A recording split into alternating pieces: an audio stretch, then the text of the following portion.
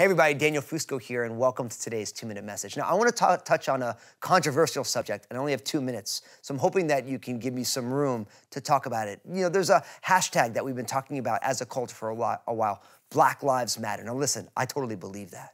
But then, of course, some people say, well, then all lives matter. And guess what? I believe that too. And then blue lives matter. And guess what? I believe that too. See, here's the thing when we see injustice in the world, we should care about people's lives. But here's the thing I believe that, that Black lives matter, everyone's life matters. It all matters. And injustice is always wrong. And the reason I actually believe that is because I actually believe that eternal life matters too.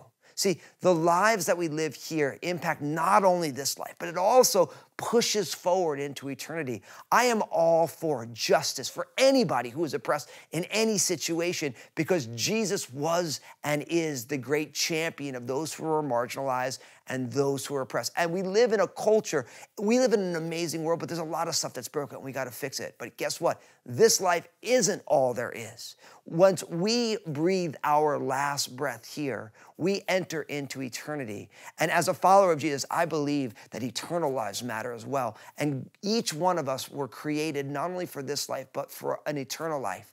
And Jesus came on a rescue mission to live and to die and to rise again for you, that you might have eternal life. And we want to live on this side of eternity with a view of eternity. And we want to be living out in this world with a, a view of eternity. So, what I want you to do first, I want you to share this video because everybody, every person you know, no matter what they are, they have an eternal life that awaits them. And we want people to be with God because of the finished work of Jesus. We want them to not enter a lost eternity.